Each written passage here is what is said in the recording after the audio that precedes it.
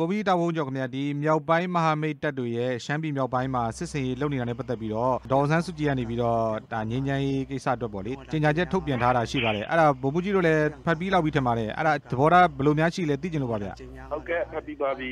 ကျွန်တော်တို့မြင်တာကတော့ဒေါ်ဆန်းစီမှာအခက်အခဲတစ်စုံတရာတော့ရှိလိမ့်မယ်လို့ကျွန်တော်တို့မြင်ပါတယ်ဒါကြောင့်မို့အခုဖြစ်နေတဲ့စစ်ပွဲကြီးကဘယ်လိုရက်နှံ့မလဲဆိုတော့တိကျတဲ့စုပြချက်တွေဆောင်နိုင်မှုတွေအားနည်းတယ်လို့ကျွန်တော်မြင်ပါတယ်အခုဒီ statement ကိုဖတ်ပြီးတဲ့နောက်ပိုင်းမှာတော့ဒီကြေညာချက်မှာလည်း NCA လက်မှတ်မထိုးရသေးတဲ့ဖွဲ့တွေလည်းဒါလက်မှတ်ထိုးဖို့ပေါ့ဗျဒါလာမဲ့ဖေဖော်ဝါရီလမှာပြန်လဲကျင်းပမဲ့ဒုတိယကြိမ်မြောက်ငြိမ်းချမ်းရေးညီလာခံကိုလည်းတက်ရောက်ဖို့သူဖိတ်ခေါ်ထားတယ်ပေါ့ဗျာအဲ့ဒီအတွက်ကောဗိုလ်မှူးကြီးတို့ဒီမြောက်ပိုင်းမဟာမိတ်တပ်တွေအနေနဲ့ဘယ်လိုများစီစဉ်ထားရလဲဗျသိပြသေးဗျကျွန်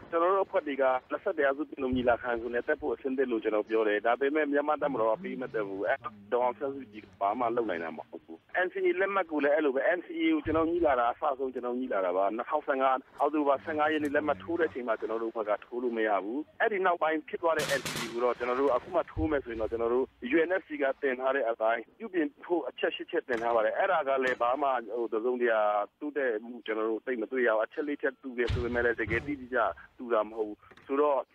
NCA မှာအဲ့လိုအခက်အခဲတွေရှိနေဒေါအောင်ဆန်းစုကြည်ကကျွန်တော်တို့မြင်တာကတော့ဒေါအောင်ဆန်းစုကြည်ကပထမတော့ကျွန်တော်တို့ဒီပြိပခါဖြစ်တဲ့မြန်မာတပ်မတော်နဲ့ကျွန်တော်တို့တိုင်းသားတွေအကြားပေါ့ပြိပခါဖြစ်နေတဲ့နှစ်ခုအကြားမှာသူကအပေါ်ကနေတဘာပတိပုံစံလိုပေါ့နော်အပေါ်ကနေထိန်းနိုင်မယ်ညှိနှိုင်းပေးနိုင်မယ်လို့ကျွန်တော်ထင်တာအခုဟာကတော့ အဲ့လိုမဟုတ်ဘဲနဲ့ဒေါအောင်ဆန်းစုကြည်ကတော့ဘယ်ဖက်ကိုရက်တည်လဲဆိုတာကဒီအခုထုတ်လိုက်တဲ့ထုတ်ပြန်ချက်ကတော့သူရှင်းလင်းသွားတယ်လို့ထင်ပါတယ်ကျွန်တော်တို့တိုင်းသားတွေအတွက်ကတော့ဒေါအောင်ဆန်းစုကြည်ပေါ်မှာမျိုးလင်းကိုအကူဖို့တော်တော်လေးအခြေအနေနေသွားတယ်လို့ကျွန်တော်မြင်ပါတယ်တိုက်ပွဲအခြေအနေကိုလည်းဒေါအောင်ဆန်းစုကြည်ကကောင်းကောင်းမသိဘူးထုတ်ပြန်ချက်ထဲမှာကအဆိုးဆုံးပါတာကတော့ မြန်မာတပ်မတော်ကရေးရွှေချုံချုံဆွမ်းရည်တွေကြောင်းကျွန်တော်တို့ဒီဖက်မှာအားလုံးပြည်ငြိမ်သွားပြီဆိုပြီးတော့မှဒီဖက်မှာတကယ်လက်တွေ့အခြေအနေကြတော့အခုဒီအခုကိုပဲ husky နဲ့နော် fighter jet နဲ့လာပြစ်နေတယ်တိုက်ပွဲတွေပြင်းနေတယ်ဆိုတော့လက်တွေ့အခြေအနေနဲ့တော်တော်ကင်းကွာတယ်လို့ကျွန်တော်တို့မြင်ပါတယ်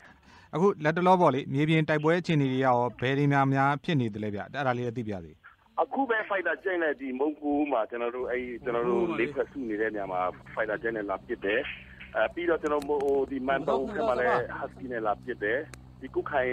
နဲ့ဥစား105မိုင်လမ်းတစ်လျှောက်မှာလည်းတိုက်ပွဲတွေဖြစ်နေတယ်ဒီနပ်ခန်းလေးမှာလည်းတိုက်ပွဲတွေဖြစ်နေတယ်ဒီနိုမာလာ20ရက်နေ့ကနေစပြီးတော့ဒီမြောက်ပိုင်းမဟာမိတ်တပ်တွေရဲ့စစ်စင်ရေးစပြီးတော့လုပ်နေတယ်ဆိုတော့အဲ့ဒီမှာ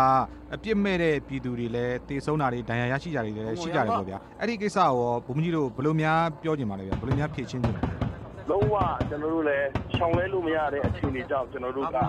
ဘလဲမရှောင်ရတဲ့ အနေနဲ့မှာကျွန်တော်ဒီစစ်စင်ရေးလုပ်ရတဲ့အတွက်ကြောင့် ကျွန်တော်တို့ လူထုလည်းကျွန်တော်တို့ကြိုတင်တောင်းပန်ထားပြီးသား ဖြစ်ပါတယ်ထုကလည်းကျွန်တော်တိုက်ပွဲရှိတဲ့နေရာအနိုင်ကိုရှောင်ရှားဖို့တော့ခီးသွားလာတဲ့ဆက်ကနေဖြစ်ပါရထားပါတယ် ဒါပေမဲ့ အခြေအနေကတော့ခဏပြောတဲ့တိုင်းပဲ တိုက်ပွဲတင်းလာတဲ့အချိန်မှာ နှစ်ဖက်စလုံးက ကျွန်တော်တို့ဘက်ကပြစ်တဲ့လက်နက်ကော တမတော်မြန်မာတမတော်ကပြည်လက်နဲ့အခြေအနေတော်တော်ရှုပ်ပါတယ်အခုလူထုတွေထိခိုက်ဒဏ်ရာရတယ်ဆိုတာကဘယ်ဖက်ကလက်နဲ့လဲဆိုတာတော်တော်ဟောခက်ပါတယ်ဥပမာကျွန်တော်တို့ဖက်က105မိုင်မှာဝင်တဲ့အချိန်မှာ105မိုင်အထက်ကတောင်ကုန်းစက်ကုန်းပေါ်နေမြန်မာတမတော်လက်နဲ့ကြီးနဲ့အာပုံတွေစုံထဲကိုလက်နဲ့ကြီးနဲ့ပစ်လာပါတယ်ကျွန်တော်တို့ပြစ်တဲ့လက်နဲ့ကြီးမဟုတ်ဘူးမြန်မာတမတော်လက်နဲ့ကြီးအဲ့ဒီမှာလူထုတွေအများကြီးထိခိုက်နေတာပါတယ်ဒါကြောင့်မို့ လူထုထိခိုက်နေတာမှုရှိတဲ့ဟာကတော့ကျွန်တော်တို့တည်တည်ချာသုံးသပ်ဖို့လိုပါတယ်ဘယ်ဖက်ကလာတဲ့ဘယ်လိုကြီးမျိုးသားလဲကျွန်တော်တို့သုံးတဲ့ဒီနဲ့မြန်မာတမတော်သုံးတဲ့ဒီနဲ့တော့မတူပါဘူးခွဲခြားစစ်ဆေးလို့ရပါတယ်ဒီလက်ရှိဖြစ်ပေါ်နေတဲ့ဒီတိုက်ပွဲတွေကိုရပ်တန့်ဖို့ဆိုလို့ရှိရင်ဘယ်လိုနည်းလမ်းအကောင်းဆုံးအဖြစ်ဖြစ်မယ်လို့များဘုံကြီးပြောနိုင်မလဲအ ဓိကကတော့တကယ်မှန်မှန်ကန်ကန်အတိတ်ဆက်ရဆဲရည်တွေလုပ်ဖို့နိုင်ငံရေးဆိုဆွေးနွေးရေးတွေလုပ်ဖို့ကျွန်တော်တို့တောင်းဆိုတာပါဟိုဘက်ကချန်ဒီဘက်ကချန်အဟိုလူနဲ့ပဲငြိမ်းချမ်းရေးလုပ်မယ်ဒီလူနဲ့ပဲအတိတ်ဆက်လုပ်မယ်ဒါမျိုးမဟုတ်ဘဲနဲ့မြန်မာနိုင်ငံတစ်ခုလုံးတဝမ်းလုံးကိုအတိတ်ဆက်ရဆဲလုပ်ပြီးတော့နိုင်ငံရေးဆွေးနွေးပွဲအကုန်လုံးလုပ်ဖို့လိုပါတယ်ကျွန်တော်တို့တောင်းဆိုတာအဲ့ဒါပါအဲ့ဒါကိုဒေါအောင်ဆန်းစုကြည်ရောမြန်မာတပ်မတော်ရဲ့လက်ခံပြီးတကယ်ဆွေးနွေးမယ်ဆိုရင်တော့အခုလိုတိုက်ပွဲတွေဒီလောက်ပြင်းထန်အောင်ဖြစ်လို့မရှိဘူးလို့ကျွန်တော်တို့မြင်ပါတယ်ဘုံကြီးတာဘုံကျော်အခုလိုပြကြပြတာကျေးဇူးအများကြီးတင်ပါတယ်ဗျာဟုတ်ကဲ့ပါကျေးဇူးတင်ပါတယ်